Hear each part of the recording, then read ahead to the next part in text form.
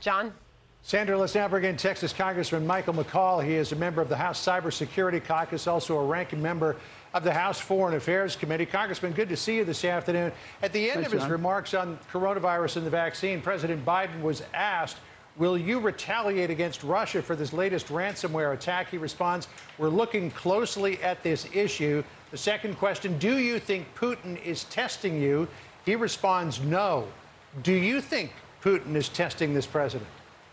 Oh, ab- absolutely. You cannot uh, somehow dissect Putin from these criminal organizations in Russia that carry out these ransomware attacks.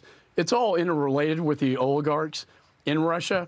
Uh, perhaps he didn't give direct approval, but certainly tacit approval. To say that Putin was unaware of this and doesn't benefit from these attacks, I think is a very naive uh, uh, perspective of how Russia operates and who Putin really is. So um, I think the president needs to be very forceful. This will be the third ransomware attack in the last couple of weeks. Um, there, we have to have consequences to this behavior. I'll ask you about those consequences in just a second, but, but first, he's got a summit with Putin coming up on June the 16th. Jen Psaki was asked by our Peter Doocy whether this would come up at that summit. Here's her response. This will certainly be a topic of discussion that uh, harboring criminal uh, entities that are intending to do harm, that are doing harm to the critical infrastructure in the United States is not acceptable. We're not going to stand by that. We will raise that, and we are not going to take options off the table. Not going to take options off the table. So let's get to those options. What should the options be at this point? I think the president should be very clear uh, to Putin that if these continue, once we do the attribution, which means finding out the source of the attack, uh, that we are going to hit back, and we're going to we're going to respond with a cyber offensive attack uh, that we're very capable of doing as a nation. Uh, only until we have that threat to uh, Putin and the Russian criminal organizations uh, will this uh, bad behavior stop. Otherwise, it will, it will continue. Um, and you know what I don't understand is President Biden rewarding Putin with this meeting, rewarding him, uh, waiving the uh, the national security interest to let him complete the Nord Stream 2 pipeline, while at the same time he's shutting down uh, the Keystone pipeline in the United States, now at- attacking Alaskan drilling in the Arctic, um, and at the same time the Russians hit Colonial Pipeline and shut it down, causing a short-term energy crisis. This all doesn't add up, and I think the timing of the summit is very interesting. Yeah, you know, that's one of the things that people are asking is should President Biden go ahead with this summit?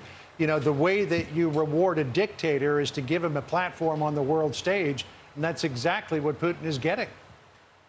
And remember, this is the first um, meeting with a, uh, a leader of a foreign country, in this case, a foreign adversary, uh, in their country, not in the United States. So it's a very significant uh, development, and I, I hope the president brings up uh, these issues. But the energy policy alone is the hypocrisy just mystifies me that we're going to be shutting down uh, Keystone Pipeline, but allowing uh, Putin to uh, complete his pipeline into Europe, making them more energy dependent on Russia, not the United States. And it's a far dirtier uh, form of energy as well.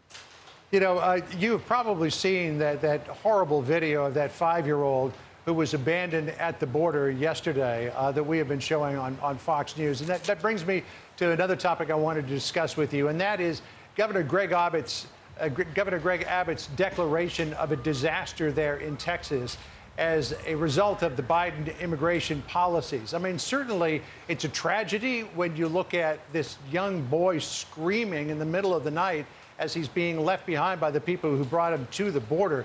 But is it, is, is it a disaster?